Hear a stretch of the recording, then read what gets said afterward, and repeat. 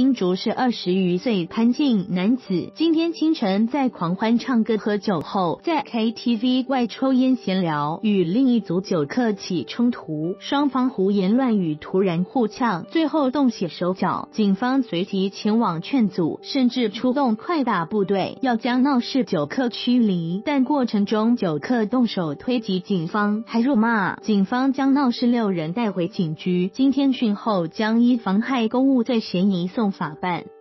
今天清晨一时许，潘姓男子酒后在 KTV 外咆哮，引起其他酒客不满，双方隔空叫嚣后，更呛声要叫兄弟来。警方随即前往劝阻，但隔没多久，路口聚集三十名酒客，警方也马上派出快打部队，呼叫五十名警力前来帮忙，将闹事和围观的酒客劝离。当时有民众路过，随即拿起手机将画面。拍下并上传至脸书社团“黑色豪门企业”。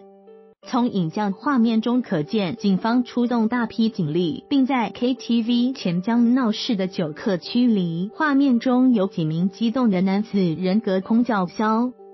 警方表示，此次事件造成两名男子受伤，其中一名男子自称撞到头，感觉晕眩；另一名男子则说被推倒扭伤脚，已将他们借护就医，没有大碍。警方指出，潘姓酒客与有人不愿听警方劝阻，还出手推挤、谩骂警方，因此将他们六人因妨害公务强制逮捕。其余酒客当场在警方劝阻后离开现场，双方酒客打架闹事，警方出动大批警力劝阻。图